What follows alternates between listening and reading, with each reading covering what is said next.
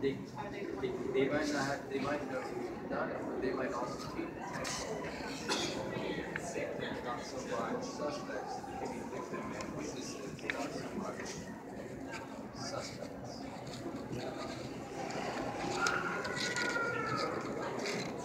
But, I don't know, that one juvenile still outstanding, she's like five eight, one sixty,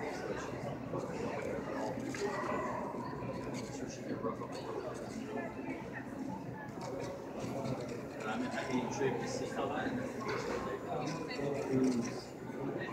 Truly investigating?